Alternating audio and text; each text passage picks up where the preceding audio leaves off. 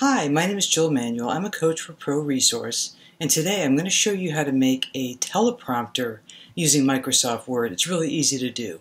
Here's how it works. I'm in Microsoft Word right now, and so my script, what I want to say is in here. I copied and pasted it, or you can write it in Microsoft Word. I'm going to define my text, and I'm going to go up to the uh, font size, and I'm going to make it 28 points because that's what I like when I read a teleprompter. I like very big type. And I'm going to center this text because that's how I like to read it.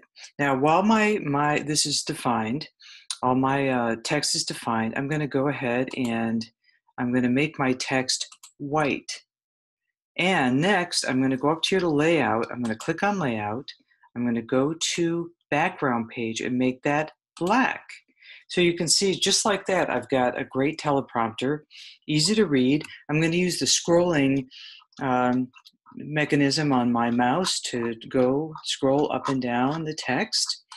I also can take it from the side and scroll down using my mouse on the side and you want to scroll down at the rate that you read.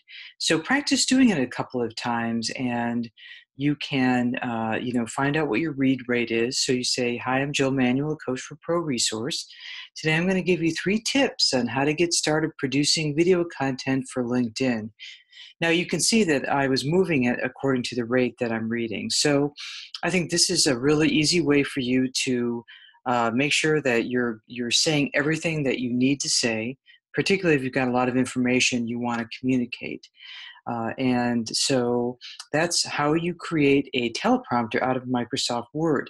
Now, if you need help creating videos for LinkedIn, you can contact Judy Schramm, the CEO of ProResource, at judy at proresource.com or go to the website proresource.com and click on video.